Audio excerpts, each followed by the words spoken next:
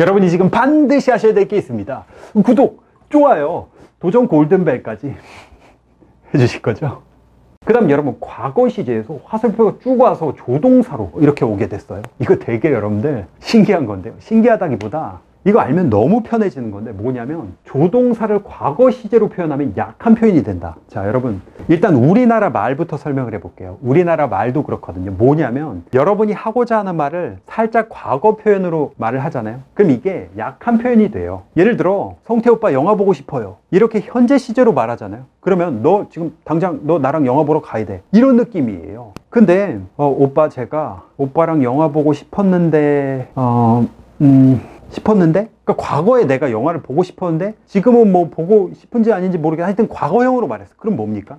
이게 여러분 지금 너 지금 당장 짐싸 지금 영화 보러 갈 거야. 이게 아니라 지금 나 적극적으로 지금 가고 싶어 이게 아니라 과거 뭐 약한 표현이 되는 거죠 지금 내가 하고 싶다. 늘 현재 시제는 되게 직설적으로 여러분 딱 꽂아서 지금 단정적으로 이야기를 하는 거예요. 그래서 왜 현재 시대는 뭐 진리를 표현할 때 쓰인다 뭐 이런 것들 나중에 보면 이제 설명 듣게 될 텐데 불변의 진리 이런 거를 뭐 나타낸다 그런 어떤 내용이 나올 거예요. 그것 또한 충분히 이해할 수 있는 내용이니까 걱정 마시고요. 여튼 여러분 살짝 과거로 표현하면 약한 표현이 됩니다. 자, 그래서 조동사에서 여러분 can이 있고 will이 있고 may 뭐 이런 게 있어요. 근데 그거를 과거로 표현하잖아요. 그럼 뭐 would, could, might 이렇게 되잖아요. 요것들이 당연히 조동사의 과거형이니까 과거 시제로도 쓰일 수 있죠. 근데 사실 그거보다 더 많이 쓰이는 게 뭐냐면요.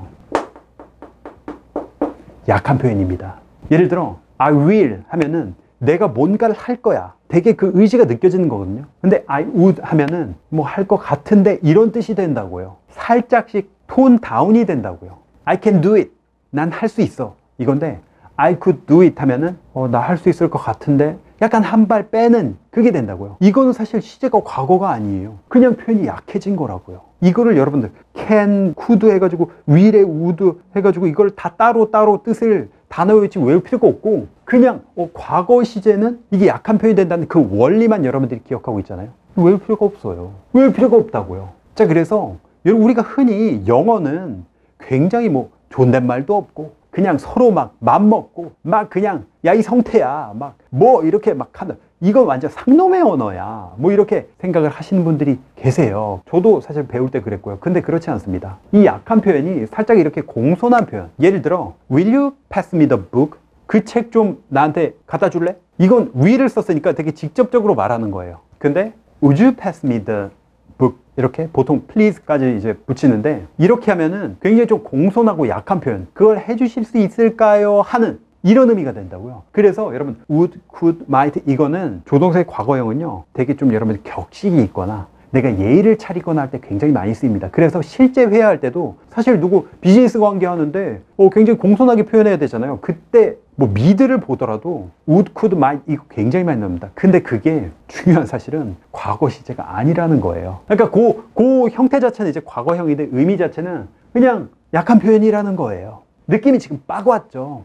외울 필요 없다고요. 자, 그럼 여러분 조동사에서 가정법이 나왔어요. 여러분 가정법 이거요. 굉장히 어려워하죠. 근데 여러분 이 가정법이요. 이거 뭐 따로 공부할 필요도 없어요. 무슨 의미냐? 여러분 가정법은 그냥 조동사의 하나의 파트예요. 자, 조동사 이걸 제가 왜 이렇게 강조해서 설명드렸냐면 약한 표현, 과거 약한 표현 이렇게 되는 거잖아요.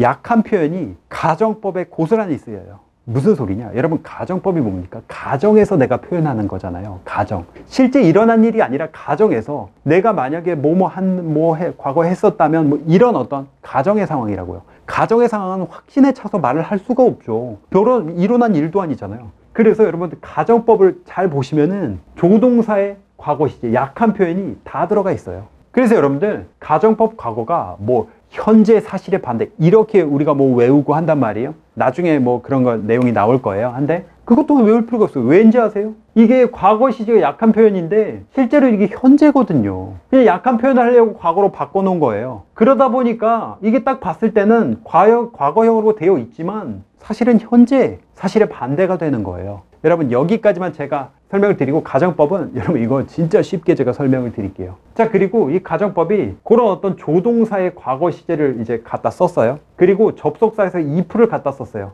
그러니까 여러분 조동사 과거 시제에서 약한 표현을 쓴 다음에 그 앞에 다가 이 표절을 갖다 붙인 거예요. 그게 그냥 가정법의 전부입니다. 이거 뭐 외울 필요 없어요. 그냥 이거 그냥 바로 이해가 될 겁니다. 자 여러분 지금 좀 굉장히 빠르게 이 표 하나를 같이 봤습니다. 근데 여러분 보세요. 조동사, 동명사, to부정사, 전치사, 시제, 분사, 가정법, 접속사, 수동태 이게요. 여러분 목차 펴놓고 보시면 알 테지만 모든 영문법 책의 절반 이상입니다. 이게 서로 이렇게 연결돼 있다고요. 서로 연결돼 있잖아요. 이게 너무나도 쉽게 이해가 되는 것 뿐만 아니라 연결돼 있으면 이게 끊어지지도 않아요. 서로 이렇게 다 맞물려 있기 때문에 안 끊어진다고요. 잊어버리지도 않는다고요.